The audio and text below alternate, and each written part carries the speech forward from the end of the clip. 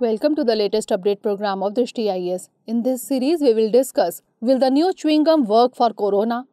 Scientists have designed a chewing gum that can help in reducing coronavirus infection. This chewing gum has been created by researchers from the University of Pennsylvania, USA. It is a chewing gum enriched with plant protein. This chewing gum may potentially help reduce the transmission of coronavirus by limiting the amount of virus in human saliva.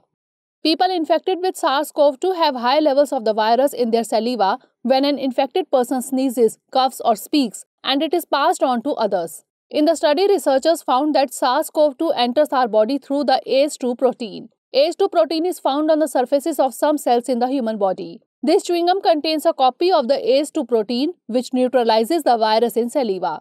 According to them, this chewing gum can reduce viral penetration into cells by up to 95%. Note that this study has been published in the journal Molecular Therapy. Dear viewers, watch this topic in Hindi on our Drishti IAS Hindi YouTube channel.